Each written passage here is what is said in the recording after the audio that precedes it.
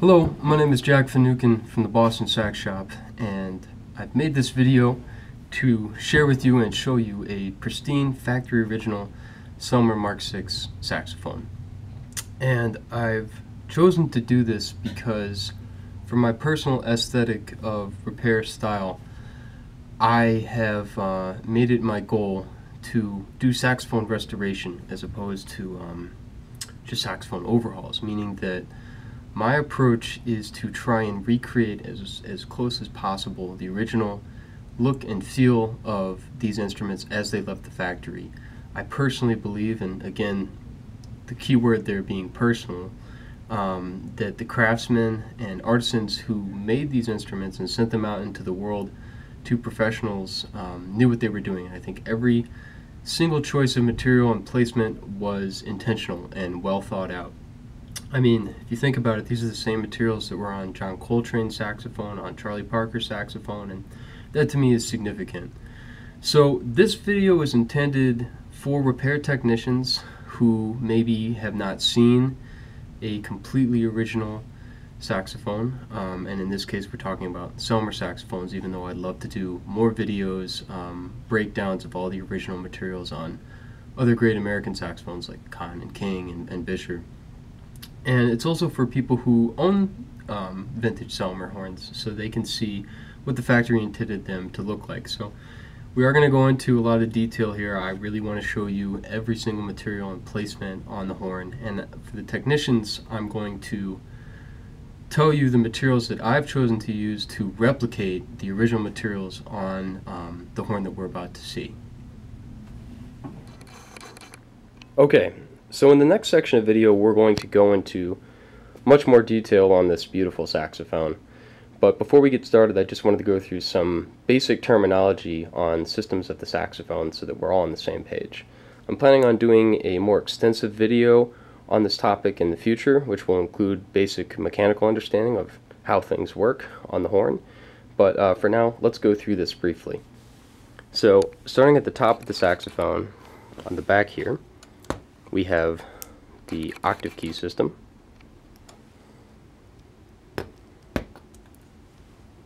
to the left of that, the palm keys being D, E flat, and F. And then we move into the first major stack, which I call the left-hand stack, which consists of the front F key, which activates the palm F key, B, bis, A, and G, and what I call the C key, which is this small key which sits right below the front F. The B activates the little C key, and when you press A, it seals not only the bis, but also the little c. So that's a three-pad system there, and the G, of course, is independent. Moving down the horn, we have the G sharp key, which is independent, and then the next major system, which is the right-hand stack, which consists of what I call the F sharp key, F, E, and D. F activates the F sharp, as does E and D. And at the bottom of the horn, we have our C sharp, B, and B flat key, which are all worked by what I call the left-hand pinky stack. G sharp, B, B flat, and C sharp on the side there. Then we move into our smaller systems, being the C and E flat key, which sit right here, also referred to as the right-hand pinky stack, the chromatic or side F sharp, and then our side keys, B flat, C, and the high E. And that's it. Now let's take a closer look at all of the materials which make the horn play and feel the way it does. So the first material that we need to talk about when it comes to factory Selmer saxophones are the resonators. And there are two different styles of resonators that Selmer used. Um, from about 56,000 to right around 80,000, Selmer was using a nickel-plated brass resonator that they called the Tonex resonator, T-O-N-E-X. And this is a two-piece resonator. This uh, receiver, which is internally threaded to receive a screw, which would go on the back of the pad, the resonator, of course, going on the front of the pad. Um, this part is actually soldered onto this part. And this is a hefty, uh, this is a hefty piece right here. And of course, this was the original brass washer, and then the screw. Right at 80,000, they started using a plastic or nylon resonator um, in this, you know, kind of chocolate brown color, which did not have a washer. It just had a slightly larger, um, let me get a focus there, slightly larger brass uh, backing screw. Interesting to note that if you are um, restoring a vintage Selmer that has partially original resonators and you are swapping them out, the threading on both of the smaller screws used on the Selmer Tonex or metal resonators and the threading used on the plastic ones are identical. So those can be interchanged if you happen to lose these little guys, which I do all the time. So the reason for the change um, was pretty obviously a financial decision on Selmer's part. Uh, this is so much easier to make um, and cheaper material. But interestingly enough, I'll mention that I did hear from um, an old timer that the part of part of the reason for the change was just the weight difference. Um, oftentimes on tenor saxophone, in the right hand, you'll have keys bounce, which means that if you release the key and it goes to its returning position without any kind of finger pressure, it'll flutter a little bit. And often that has to do with not only the shape of the key foot, sorry to get technical here, but it's kind of interesting, but also the weight of the key cup itself and the materials in it, meaning the pad, the adhesive, and the resonator. And again, these resonators weigh considerably more than the uh, the nylon boosters that they changed to at a later date. And uh, again, this um, repair technician told me that one of the reasons they changed was to lighten up the key cups, both for the action and to uh, prevent that bouncing. So the next step is the uh, Selmer pad which um, you know they went through several different manufacturers, but uh, they always retain this um, beautiful orange uh, tanned kid leather um, look to them, and you know they, they typically measure about five millimeters in thickness, and you can see on the back that uh, they used an amber colored shellac, um, which is a natural adhesive made actually from insects that um, was borrowed from the furniture industry. Um, shellac, which I have a stick right here, is um, when, it, when it's mixed with a solvent like alcohol, uh, can be used as a varnish um, or a uh, finish on wood. So again, I said that I would share what I use to replicate uh, these styles of resonators in my own repair work. Um, for metal resonators, I prefer the ones made by Ed Kraus, who um, has copied these pretty well.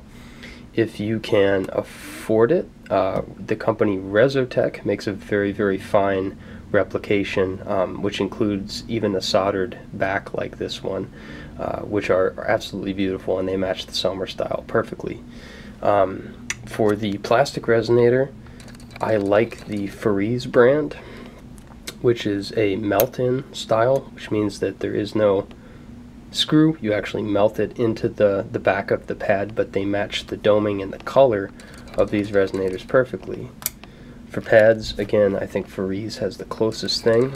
Um, there's another company called Ed Meyer, which is a little hard to track down, but they make another very, very similar um, Selmer style pad and in fact used to produce the pads for Selmer I believe in the late 60s and the 70s.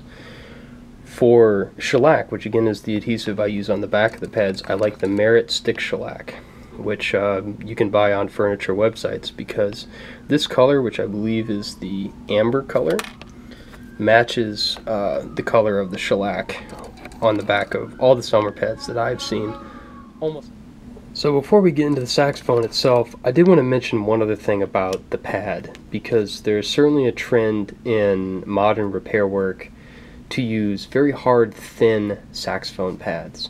And you'll see when we look at the saxophone that these pads um, have, um, you know, a pretty thin layer of shellac on the back, which means that they're sitting inside the key cups pretty deeply, um, giving the overhang um, which is a term that I use that represents the amount of pad hanging out of the, the key cup itself, pretty thin. So they look thin, but in actuality, these pads are, are on the thicker side.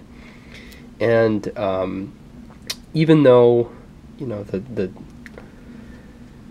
newest original Mark 6 pads that I've had are from the 70s, um, and the leather is dried up. You can tell this is a very supple leather, and that the felt was not rock hard. It was more of a medium weave 100% um, wool felt, being the material that's in between the leather and the cardboard backing. And I just wanted to comment that, you know, Selmer knew that the tone holes um, or chimneys coming off the saxophone that the pads were sealing on were not perfect. Um, and I think that they chose these pads for a reason to make up for the imperfections. That's why we have pads made out of leather and not metal, is to make up for imperfections in the tone hole.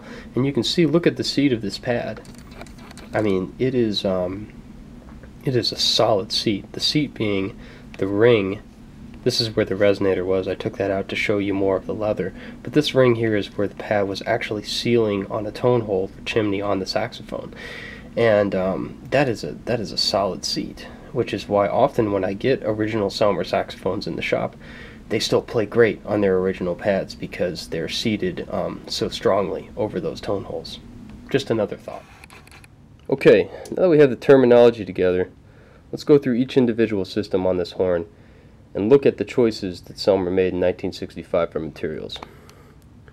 So starting with the top of the horn, I always notice this gray tubing up here. It's just a classy touch.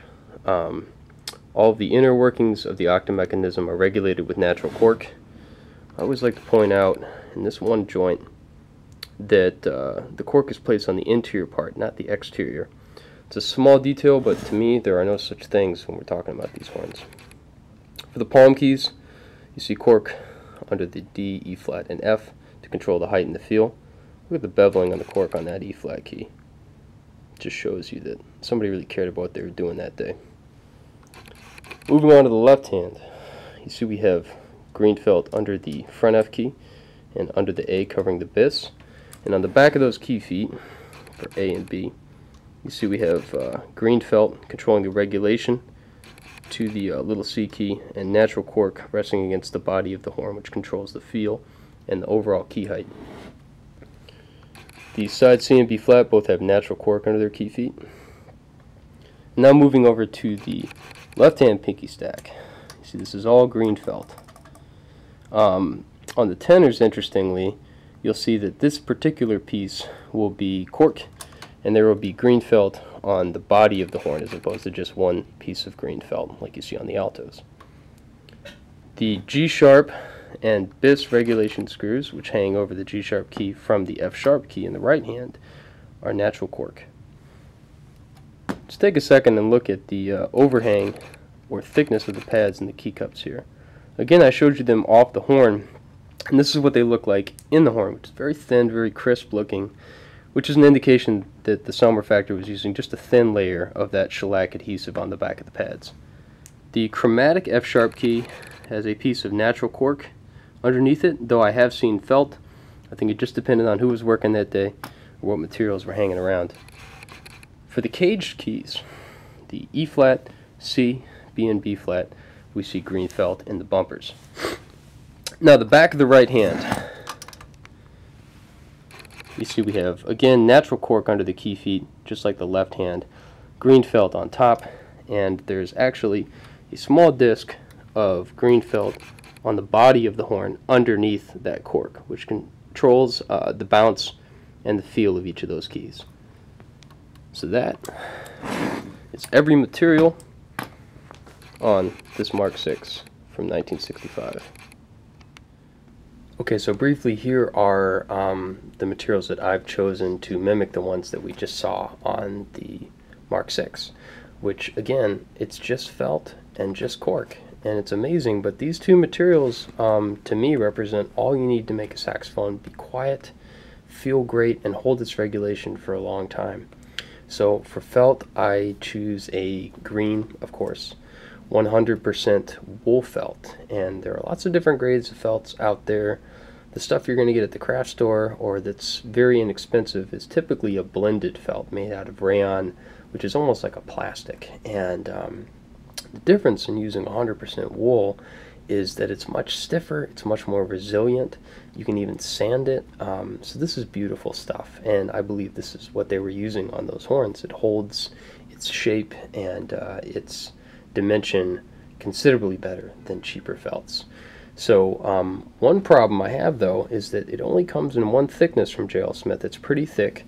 This, for instance, is the size that you would put underneath the A pearl to cover the B, um, or the biscuit rather. Uh, but it's too thick to use on the back of the key feet for regulation of the back bar on the F sharp or the little C in the left hand. So what I do to get over that is I actually, you know, when I'm doing an overhaul or prepping an overhaul rather, I'll cut out a postage si uh, stamp size piece of this, back it with contact cement, uh, wait for it to dry, and then skive off the top layer, which, you know, trying to get about half this thickness is what I like to use. And for razor blades to do that, I use the uh, Gem Personna, which are super, super sharp and great for cutting this stuff. For cork, um, I just use the highest quality natural cork I can get, which I get from Ferree's. Uh, cork, you know, to this day still amazes me as a material. It's perfect, um, and there's a reason that they chose this because it is um, just the quintessential balance between firmness and softness. Firm enough when it's of this level of quality that it's going to retain its shape and thickness, but soft enough that it won't click even at a very thin sanded piece um, against uh, metal and won't bounce. Uh, so this is, you know, just beautiful stuff to me. Sounds silly, but that's how I feel. For adhesive, I try as much as I can to use liquid shellac. I have to admit it is kind of a pain to use. I make this using flakes and denatured alcohol. It forms a paste which I apply with paintbrushes um, or acid brushes to the work. Um, you have to heat it up to burn off the alcohol which then just leaves the shellac adhesive, um, which grips whatever materials you're using. And this is what they used on all those horns. Um, up until the very end, you don't see contact cement, even though it was available, I believe, in the 70s when they stopped the Mark 6 run. They only used liquid shellac. So I'm learning to become uh, better at using this, but I want to because to me it represents that final detail, the final step in trying to mimic the original Selmer overhaul. Okay, so that's it. Um, I hope that whether or not you're a repair technician or an owner of a vintage Selmer saxophone, that this was at least mildly informative. I believe that you should know uh, what the factory intended, whether or not you choose to do that um, in your own work or have that done to your own saxophone is entirely up to you. Like I said, this is um, the way that I like to approach my repair work, and um, again, I give credit to a lot of people uh, for moving me in this direction. This is certainly not an original idea. Um, you know, one of the first conversations I had with the great New York repairman Bill Singer, he said to me, I want to make the saxophones look like nobody was there. And that has really stuck with me. So, once again, thank you for watching. And uh, like I said, I've got some other stuff uh, coming down the pipeline in terms of videos. So please stay tuned.